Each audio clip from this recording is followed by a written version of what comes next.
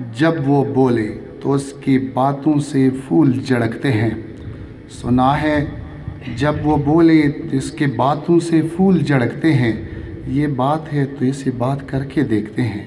अब एक छोटी सी बच्ची वजीहा बतुल को दावत दी जाती है कि वो उस्ताद के मतलब अपने ख्याल का इजहार करें। वजीहा बतुल आँसू चलक पड़े तो मेरी लाज रह गई। आँसू चलक पड़े तो मेरी लाज रह गई। इजहार गम का वरना सलीका ना था मुझे।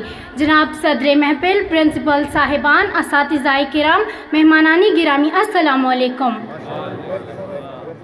सदर जी वकार अगर कोई अगर इंसान गौर करे तो उसको मालूम होगा कि अगर कोई ऐसी हस्ती जिसके पर एहसानात है जिसकी मेहरबानियाँ बेशुमार हो, जिसकी शफकत बेमिसाल हो और जिसकी तवज्जा काबिल कदर हो, वो हस्ती एक उस्ताद या सरबराह इदारा हो सकता है।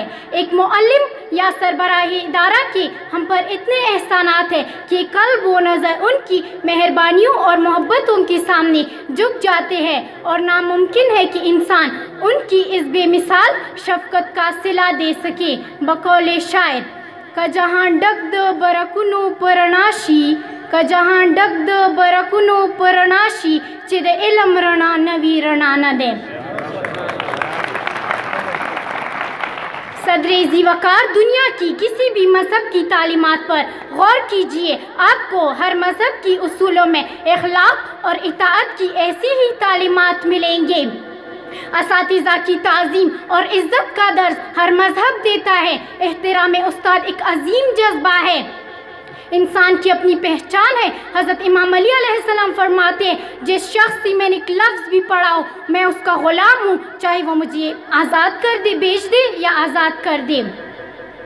सदरेजी वकार, आज एक प्रिंसिपल रिटायर्ड हो रहे हैं। मुझे तो यकीन, मुझे यकीन कैसे आई क्या वाकई हर नहीं, हरगिज़ नहीं, बिल्कुल नहीं। उस्ताद रिटायर्ड नहीं होता, उस्ताद उस्ताद ही रहते ये मैं नहीं कह रही, इसकी गवाही तारीख देती है। हज़ार हाँ मिसाली दी जा सकती, लेकिन वक्त इजाज़त नहीं देता। सिर्फ़ इतना अर्ज़ करूँगी कि जब सिकंदर ने ईरान को फतह किया तो दरबार जमाया और अहले दरबार से पूछा कि अमूर सल्तनत चलाने के लिए अरस्तु जैसे उस्ताद की ज़रूरत है या सिकंदर जैसी जारनेल की।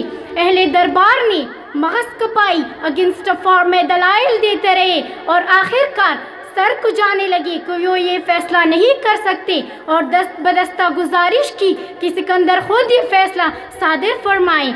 इस अजीम बादशाह ने एक फैसला सुनाया जो आज भी तारीख में सुनहरे हरूफ से लिखा गया है। वो फैसला क्या था? जी हाँ आप सब सुनना चाहते हैं। आपकी चेहरों की तासुरात से मुझे अंदाज़ा हो रहा है। सुनाती हूँ मज़ीद ताखीर के बगैर और डिडिकेट करती हूँ उसके नाम जो आपकी नज़र में रिटायर्ड हो रहे हैं, मेरी नज़र में नहीं।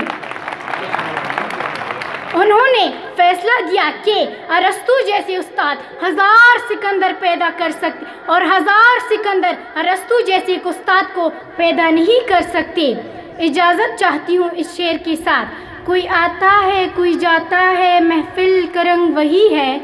कोई आता है, कोई जाता है, महफिल करंग वही है। साकी की नवाजिश जारी है, मेहमान बदलते जाते। वसलम